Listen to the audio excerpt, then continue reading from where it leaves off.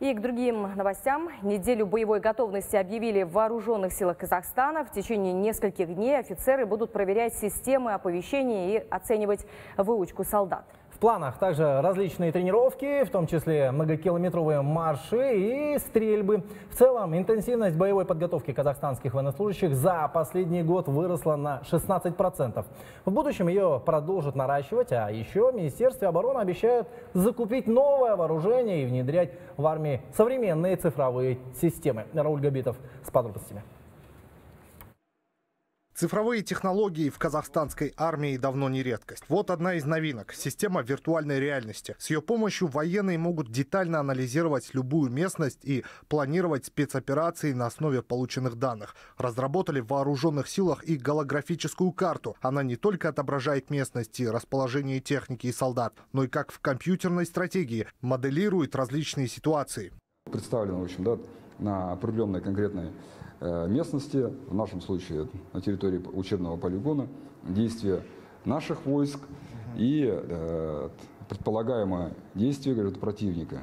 Для того, чтобы визуализировать это изображение да, в трехмерном э, пространстве, как раз имеются вот такие вот 3D-окуляры, есть сенсоры, которые реагируют на эти окуляры, говорит, там, соответственно, говорит, там, получается 3D-изображение, говорит, и военнослужащие Э, одев эти очки, говорит, там, э, создает, э, получает говорит, трехмерное изображение.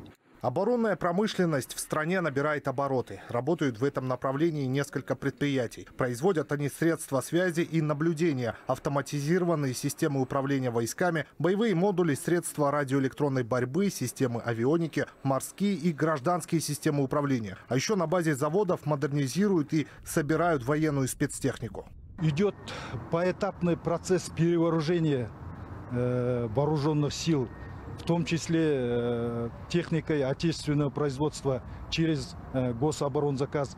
На сегодняшний день гособоронзаказ, э, доля отечественного производства э, гос, э, государственном оборонном заказе э, составляет 50, более 50 процентов.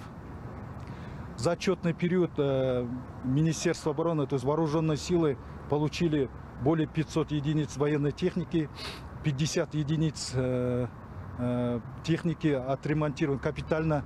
Знакомьтесь, «Орлан» – бронированная колесная машина отечественного производства. Предназначена она для разведки. Машина обладает большим дорожным просветом, а ее броня соответствует третьему уровню защиты стандарта НАТО. Выдерживает броневик взрыв противотанковых мин и атаку бронебойными пулями. Жара и мороз ему тоже не страшны.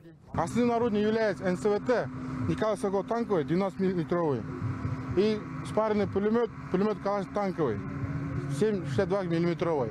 Основным экипажем является три человека. Командир машины, механик, водитель и наводчик-оператор.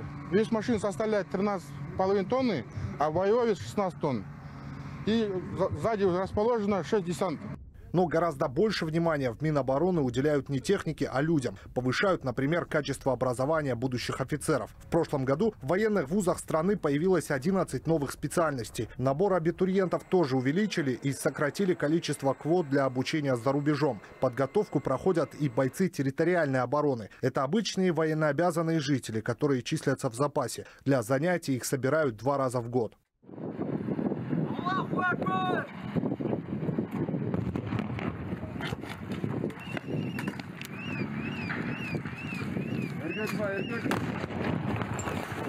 В Министерстве обороны разработали концепцию развития вооруженных сил на ближайшие 7 лет. Внимание в ней уделили каждому из подразделений – сухопутным войскам, силам воздушной обороны и военно-морским силам. Все это в совокупности продвигает страну в глобальном рейтинге. По данным международных аналитиков, вооруженные силы Казахстана сегодня самые мощные в Центральноазиатском регионе. Рауль Габитов, 24 КЗ.